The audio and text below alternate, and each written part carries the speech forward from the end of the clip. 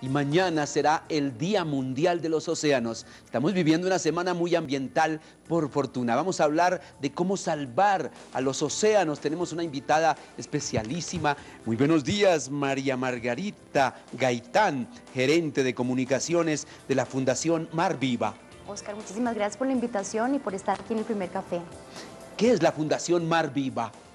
Bueno, la Fundación Mar Viva es una organización que este año cumplimos 10 años en el mes de octubre y fue creada única y exclusivamente con ese objetivo, conservar los recursos del mar, porque todos hablamos del mar y todos tenemos un bello recuerdo del mar, pero poco nos comprometemos con cuidar el mar, con cuidar los recursos del mar y todos vivimos de esa fuente de energía porque allí en los océanos se produce todo el oxígeno que respiramos nosotros. Entonces Mar Viva fue creada hace 10 años, estamos en Costa Rica, Panamá y Colombia y nuestro objetivo es conservar los recursos y ordenar las actividades humanas en el mar, porque todos realizamos actividades, el comercio, el transporte, la pesca, el turismo, todas las actividades humanas están eh, allí sobre ese precioso recurso, pero no todos estamos o somos conscientes de que nuestras actividades tienen un impacto positivo o negativo sobre el mar. Nos enseñan desde niños que Colombia es privilegiada, que tenemos dos mares. En realidad, ¿cómo están esos mares hoy? Pues desafortunadamente el panorama no es muy alentador y justamente este Día de los Océanos se creó para eso, para que pensemos en cuál es la situación de los océanos y tenemos muchas amenazas, el tema de la contaminación, el tema de los desechos, el tema de los tóxicos, el tema de la exploración petrolera, son factores que ponen en riesgo este recurso.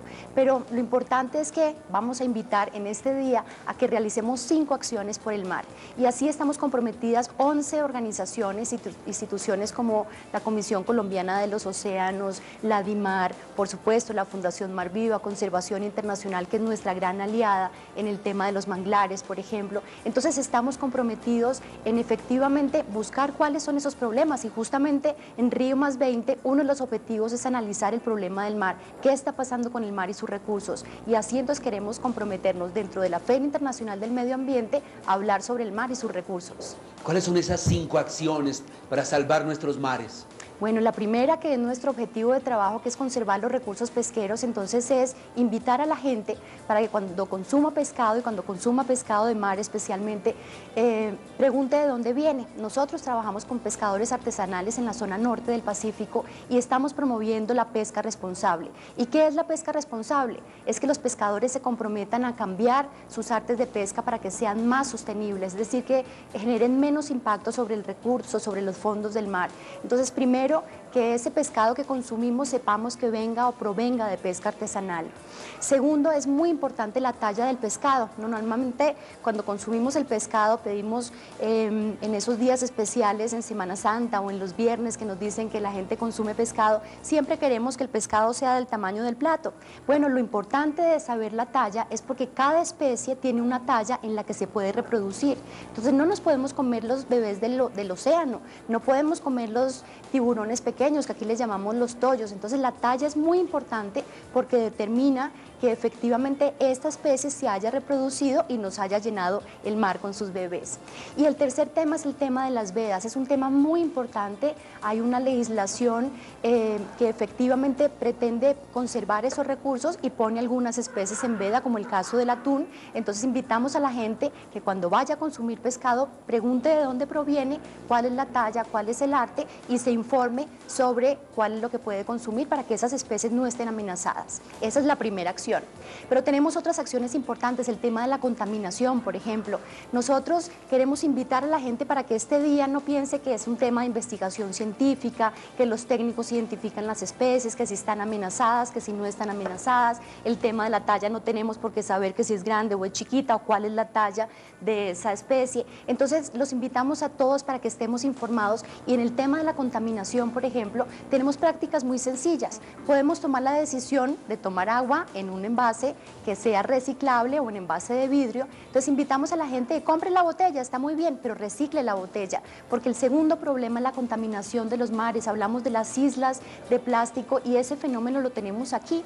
Recientemente estábamos en una actividad en Bahía Solano con pescadores artesanales, porque Mar Viva también promueve las buenas prácticas de pesca deportiva. Estábamos con los pescadores deportivos, con los pescadores artesanales y nos decían que cada vez está más cerca esa famosa isla de plástico Entonces, cuando ellos salen a realizar sus faenas de pesca deportiva o artesanal, cada vez más cerca están esos plásticos. Entonces, la segunda acción, primero, pesca responsable. Segunda acción, infórmese sobre qué es lo que va a consumir. Tercero, cuando vaya a consumir productos, piense que sean reciclados porque estos terminan en el mar. Todo lo que hacemos los bogotanos, estamos aquí en la capital de la República, estamos en la zona más alta quizás de, de nuestro país, pero no nos conectamos con el mar, pensamos que no tenemos ninguna relación con el mar, pues todo lo que hacemos aquí va por los ríos y termina en el mar. Entonces todas nuestras acciones son muy importantes. El tercer tema que es muy importante es el tema de las energías. Es una actividad en la que somos poco conscientes. Cada vez que prendemos eh, la luz de nuestra casa, cada vez que prendemos la luz de nuestra habitación, pensemos que si la pagamos a tiempo, ahorramos energía. Pero también para llegar aquí, la mayoría tenemos que llegar en transporte público, transporte privado, pues invitamos a que también lleguemos aquí, donde estamos en la Secretaría de Educación, que es un lugar tan importante, pues empecemos a utilizar transportes alternativos, vengamos en bicicleta, nos invitan a hacer ejercicio, pues busquemos transporte alternativo. Pero además porque el mar es una fuente de energía. Hace poco estábamos en la Feria del Libro y el tema también eran las energías y la sostenibilidad ambiental y veíamos cómo la energía eólica, toda esta búsqueda de otras energías alternativas protege el medio ambiente y hay otras energías que se están investigando, por ejemplo la energía que produce el movimiento de las olas, la energía que produce cuando hay eh, la marea alta. Entonces, todo este conjunto de búsqueda de alternativas, de buscar la sostenibilidad del planeta contribuyen a conservar el mar. Hay otra que es muy importante y es que cuando hacemos turismo, por ejemplo, sostenible, pensamos, bueno, lindo, vamos a Cartagena o vamos, eh, pero poco pensamos en el Pacífico. Entonces, esta es una invitación para que en el Día de los Océanos, cuando programemos nuestras próximas vacaciones, estamos ya próximos a la temporada de vacaciones, busquemos destinos turísticos como Solano, Nuquí, turismo alternativo, ir a, a, visitar sitios tan importantes como el Parque Nacional Natural Utría, una belleza, un tesoro natural. Entonces, el turismo alternativo es también darle la mano al océano, es otra acción que invitamos a la gente, porque las áreas marinas protegidas son una estrategia fundamental para la conservación de los océanos. Entonces invitamos a la gente que visite los parques nacionales naturales, porque Colombia, desafortunadamente, como usted lo mencionaba, Oscar, tenemos dos grandes, el Océano Pacífico, el Mar Caribe, y resulta que tenemos pocas áreas marinas protegidas, áreas marinas y costeras protegidas. Entonces la invitación es que hagamos turismo sostenible, que cuando vayamos al mar no botemos basura en las playas. Siempre decimos, ay, tan linda esta playa, pero llena de basura. Bueno, nosotros somos responsables de que eso esté pasando, entonces cuando vayamos a la playa, pues recojamos la basura. Y una última recomendación muy importante es que cuando viajamos también y hacemos turismo, no necesariamente turismo sostenible, siempre queremos traer un souvenir, ¿cierto? Siempre estamos pensando, bueno, ¿qué llevamos para Bogotá? Compremos artesanías. Bueno, la invitación es a que cuando vayamos a las playas no, no compramos, no compremos artículos elaborados ni en coral ni en carey porque esto está generando un impacto sobre nuestros recursos. Entonces, una acción pesca responsable, consumo responsable, em, eh, utilizar las tres R, nuestras famosas campañas de lo reutilizable, reciclable. Entonces pensemos en que nuestras actividades de consumo tienen un impacto sobre el mar.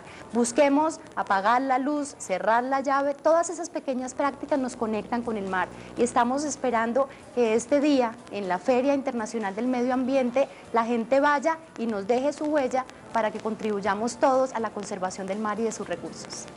Muy pedagógica su ilustración, María Margarita. Estamos eh, con las líneas abiertas para que nuestros televidentes se comuniquen a esta hora con nosotros, 222 96 94 o arroba Capital.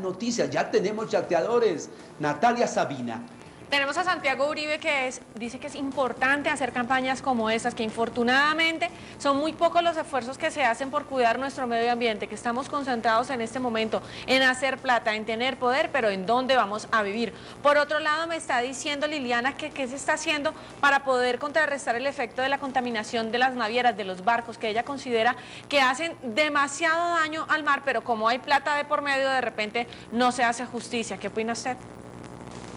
Con frecuencia nos sorprenden, a veces ya ni nos sorprenden esas noticias de barcos extranjeros en el Pacífico, en el Caribe, sacando la pesca nacional.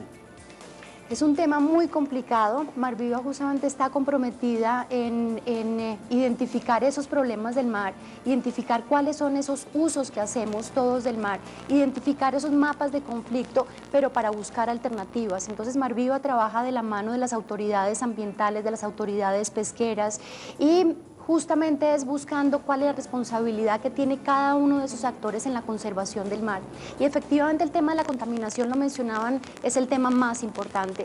Entonces sí aprovechamos el Día de los Océanos y justamente así fue declarado en 1994 por las Naciones Unidas y es para que todos los seres humanos, desde nuestra actividad diaria, cotidiana, pero también nosotros como responsabilidad empresarial, industrial, pensemos que esa actividad tiene un impacto sobre el mar. Y lo importante no es quedarnos en el problema, sino buscar la solución. Entonces, habría que preguntarle a los industriales cómo estamos haciendo ese manejo, qué es lo que estamos pensando a futuro, porque lo que le estamos dejando son los recursos a nuestros hijos y a los hijos de nuestros hijos. María Margarita, escuchemos una televidente activa que se comunica con nosotros a esta hora. Saludamos a Blanca Cajamarca, desde la localidad de Bosa. Muy buenos días. Sí, buenos días. ¿Qué tiene que decir frente a este tema de la protección de nuestros mares? para toda la comunidad toda la localidad, mi nombre es Blanca Lucy de la localidad séptima de Bosa. Bienvenida. Eh, yo quiero participar en la parte ambiental, ya que acá en la localidad de Bosa tenemos una mesa ambiental de la cual la gente de la comunidad participa todos los miércoles a las 2. ¿No se escucha? Yo no escucho. No, la estamos escuchando demasiado aquí.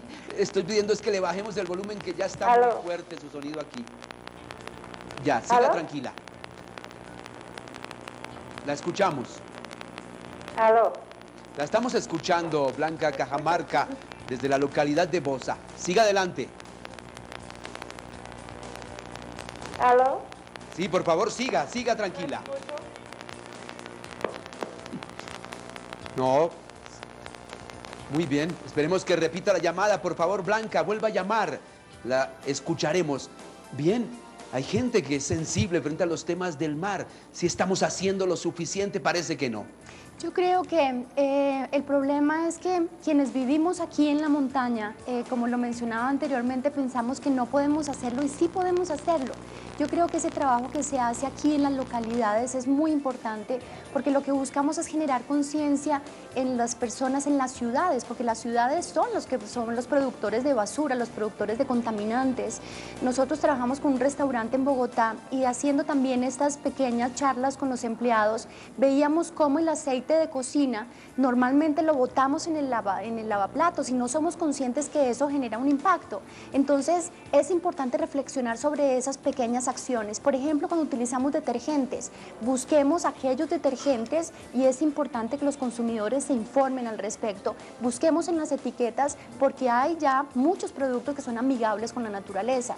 Entonces, cuando vertemos esos químicos o cuando decimos, ah, es que tengo el baño sucio y chun, echan los productos para destapar o para limpiar, pensemos que esas acciones tienen un impacto sobre el mar. Entonces, yo creo que todas esas iniciativas que se hacen en las localidades con los eh, departamentos administrativos del medio ambiente, con las secretarías ambientales para generar conciencia en esas prácticas que todos tenemos todos los días. Se nos acaba un esfero y lo botamos. ¿Por qué no pensamos en qué podemos utilizar? ¿Qué nos están diciendo ahora? No, estamos esperando que se vuelva a comunicar con nosotros Blanca Cajamarca. Quería decir muchas cosas. Esperamos que vuelva a llamar. Siga tranquila, María Margarita. Entonces estaba diciendo que muchos eh, productos que utilizamos normalmente los botamos. Pensemos si los podemos reutilizar. Entonces, por ejemplo, las minas de los esferos, los empaques, las botellas, las bolsas. Ahora nosotros adelantamos campañas para que utilicemos las bolsas de tela, las bolsas reciclables. Cuando vamos al supermercado, cuando vamos a la plaza de mercado, pues llevemos estas bolsas son prácticas que nos parecen muy sencillas y muy elementales, pero tienen realmente un impacto muy importante sobre los recursos del mar. Y nosotros nos alimentamos de pescado. Además, mucha gente en nuestras costas, 1.200 millones de personas en el mundo viven de la actividad pesquera. Es la principal fuente de proteína, pero si contaminamos el mar cada vez, vamos a tener menos lugar para que esas especies vivan allí y sirvan de alimento y trabajo para nuestra población. José Rojas nos está llamando desde la localidad de Usaquén. José, buenos días. Muy buenos días, ¿cómo están? Bien, gracias. ¿Qué decir frente a este tema? Gracias, quería referirme a un dicho oriental que dice, lo que encuentres en el mar, déjalo en el mar porque es del mar. Eso es algo que se aplica a lo que estaba hablando ahí la doctora, pues que dice cuando vamos a vacaciones debemos no comprar artículos que sean del mar, porque son del mar y deben dejarse allá. Me parece que es excelente esa apreciación de ella.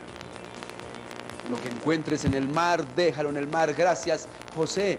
Bueno, Gracias por haber venido, María Margarita Gaitán, gerente de comunicaciones de Mar Viva. Y felicitaciones por todas esas obras que ustedes hacen para proteger nuestros recursos. El mensaje quedó claro. Lo que hacemos en Bogotá impacta fuertemente en los mares, en el Caribe, especialmente y esos desechos que aquí arrojamos tan irresponsablemente llegan allá a causar un impacto que afectará sobre todo a nuestras generaciones futuras. Gracias María Margarita por haber venido esta mañana al primer café. Lástima que nos haya comunicado otra vez Blanca Cajamarca. Bien, vamos.